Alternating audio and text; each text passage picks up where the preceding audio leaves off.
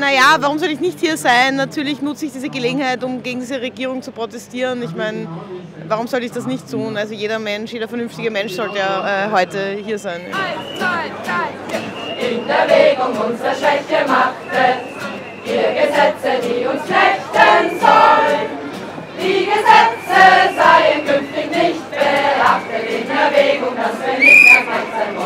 Wir äh, haben das organisiert, weil wir es total wichtig finden, dass äh, viele Leute zusammenkommen und ein Zeichen setzen und lautstark zum Ausdruck bringen, was ihnen missfällt an der Politik dieser Regierung, aber auch, äh, was wir für Alternativen wollen. Wir haben mitbekommen einfach, dass es viele Menschen gibt, die erstens sehr betroffen sind von dieser Politik äh, und die etwas tun wollen. Und wir wollen mit diesen Donnerstagskundgebungen und Demos und verschiedenen Dingen da ein Format eben schaffen, wo sich viele beteiligen können. Wenn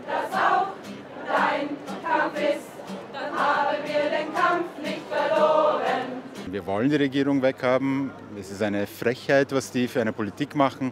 Aber über das hinaus soll es auch äh, darum gehen, äh, wie die Zukunft aussieht.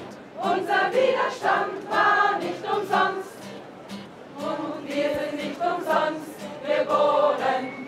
Ich engagiere mich, weil ich es total wichtig finde, dass irgendwie breiter Widerstand aus der Zivilgesellschaft ähm, entsteht, dass es kreative und vielfältige Protestformen gibt und dass ähm, einfach gegen die momentanen Entwicklungen und Maßnahmen der Regierung ähm, etwas passiert und lautstark klargemacht wird, dass es einfach einen Großteil der Bevölkerung gibt, die nicht in Konsens damit sind.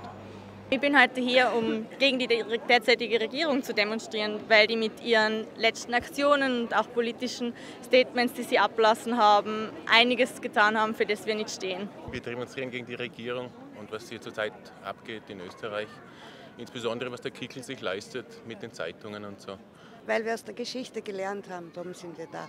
Weil ich diese Regierung verabscheue. Wie lange sollen wir noch wandern?